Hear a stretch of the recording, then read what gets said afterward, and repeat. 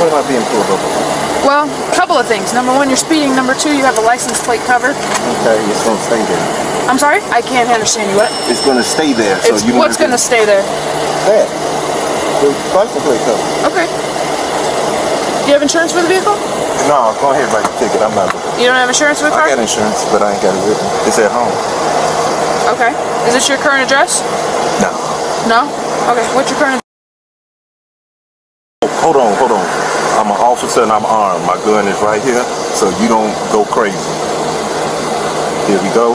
Because it's right here. I just remember. Okay. Christopher then provided his Cook County Sheriff Correctional Officer ID.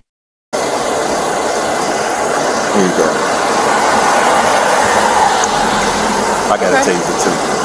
Okay. okay. All right, come on, get the ticket on, or let me go home. I got shit I don't do. understand why you're acting like this. Because I asked you, you t-